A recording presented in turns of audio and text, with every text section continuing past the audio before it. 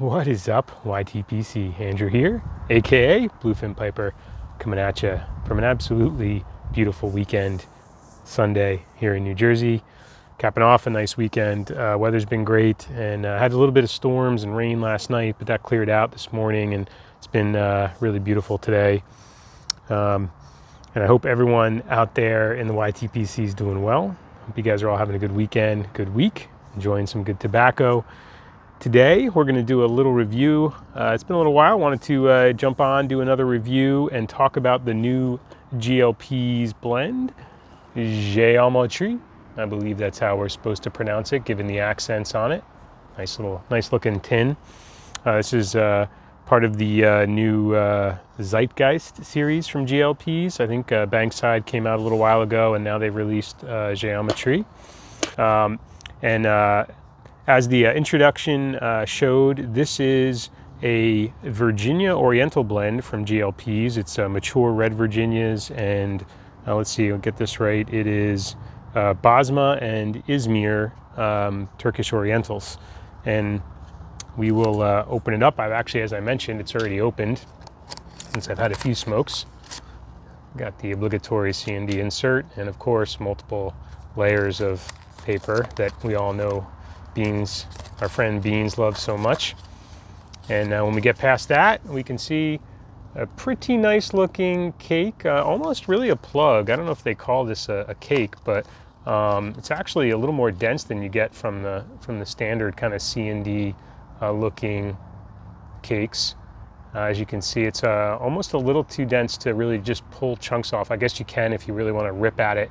Um, I've been kind of cutting them off but a really nice looking um, chunk of tobacco. Got some nice uh, light dark browns in there, some some darker Virginia, red Virginia in there, mixed in with the lighter Oriental notes. Sorry, there we go. Um, so yeah, really nice looking uh, plug. And as far as the notes go, really really nice uh, smell get these kind of nice floral creamy notes and um, some of the Virginia kind of coming through. And some grassy hay, uh, almost really the, the orientals are really in the front though, some really fragrant kind of floral notes. All right, well, let's load it up and uh, see what we think. We'll be right back. All right, we're back. And by the way, Today I'm going to be smoking Géometrie in this beautiful Mark Tinsky kind of natural bent, uh, I'm not sure you'd call it a bent billiard, kind of bent brandy shape, um, but I uh, got this one from Mike at Briar Blues a while ago. Really enjoy it, great smoker. My only Mark Tinsky pipe, but definitely would, uh, would get more. All right, so let's get to uh, Géometrie. What's the, uh, what's the blend like? I should note before I say that, um, for, before I go any further, that um, as far as kind of the, the moisture and everything, um, obviously a little little bit more difficult to prepare than a ribbon. You have to kind of try to kind of cut it out or, or take some chunks out. Um, I do prefer myself to try to cut uh, uh, even through the cake or plug if I can, just to kind of get a nice even mix of the tobaccos layered throughout. Uh, then it rubs out pretty easy. A little bit of moisture in there, but really not much. Ready to smoke. Um, once you get it kind of rubbed out, you could maybe dry it for a few minutes, but I really think it's ready to go.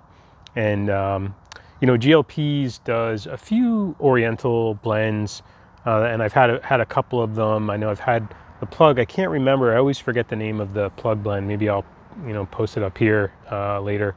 Um, but I've had that one and done a review on that and enjoyed it. And um, this one as well is, uh, you know, GLP's really um, is uh, kind of showing off his blending skills.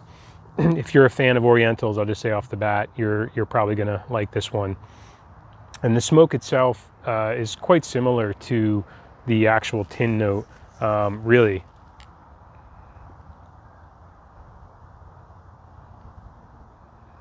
Pretty smooth smoke, not much harshness, no bite at all so far. Um, and I haven't had any tongue bite uh, in any of the two or three other smokes I've had with this blend uh, which is um, you know could be a could be an issue uh, since there are some red Virginias in here, and sometimes those tend to bite. Uh, but this one isn't biting. I think that might be just due to the Orientals.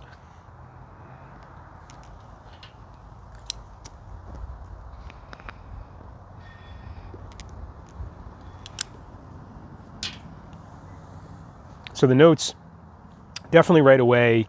Uh, the Orientals are there. The I guess the the Basma and Izmir right up front. Uh, you get that kind of floral, fragrant, uh, Oriental kind of creaminess coming through. Not a ton of sourness, which is nice. I don't usually like a super sour Oriental blends. This one's kind of more on the creamy side. And then uh, very quickly followed by kind of the red Virginias. So you get you know, tanginess from the Virginias and some sweetness as well there from the red Virginias.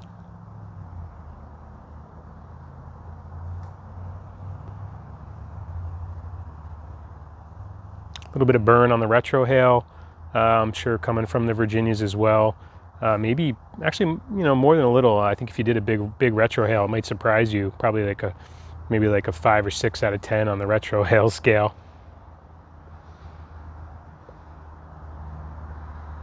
Really a nice light smoke though. Just really nice kind of florally fragrant smoke with the uh, Orientals.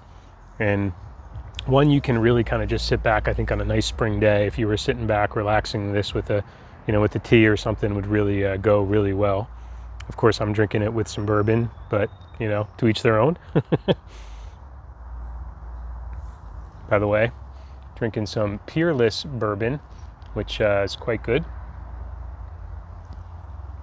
It's cask strength so it's a little strong but it's actually not um, it's a little little strong in the alcohol burn, but uh, flavor wise, it's pairing nicely with this, kind of bringing out the sweetness.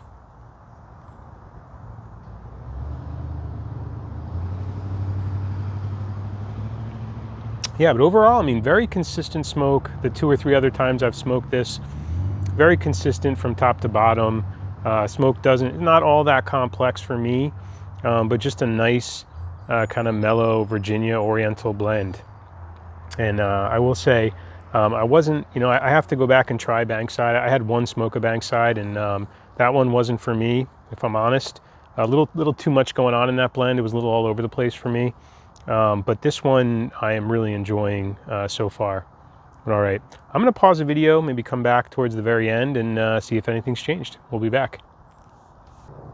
And as you can see, maybe fairly uh, well into the bowl here, close to the bottom, and um, have to say um, I think uh, as far as notes go, fairly consistent smoke, as I said, although if I wanted to try to um, give you a little more, uh, kind of tease a little more flavor out of this, I would say, uh, and if I had to compare it to anything, um, I would say maybe similar to uh, Sun Bear from C&D, um, just in kind of the oriental uh, kind of feel and notes to it. Um, though I think the red Virginias in this definitely add another kind of uh, level of depth to the smoke versus Sun Bear. So it is a different smoke, but you do get some of those similar uh, Oriental flavors from the blend. And um, I would say flavor wise, again, kind of consistent, kind of floral, uh, almost kind of maybe honeysuckle notes and some maybe a little bit of kind of vanilla and caramel kind of notes throughout uh, from from that uh, Oriental flavor, especially if you sip it slowly. Um, definitely getting the tanginess from the red Virginias, and uh, maybe a little bit, ever so a little bit of um, a little bit of harshness, but not not really much. And uh, kind of surprised, but really smooth smoke and um, no bite throughout the smoke. Burns burning not bad maybe fairly fairly cool. I think if you push this one i don't know that it, it's not biting me but you start to lose some flavor and get more of that kind of hot air. Um, so definitely one you want to just kind of sit back and enjoy uh, and smoke slowly. But overall uh, for me another winner from uh, glps uh, maybe not one that i would stock up heavily on but definitely one that i could see being a nice kind of springtime uh, light summer kind of blend. Um, which, by the way, I mentioned tea before, but I think you know a, a nice uh, um, you know gin and tonic would be fantastic with this with this blend. All right. Well, with that, I'm going to sign off. Wish you all tight lines, happy smokes. Take care.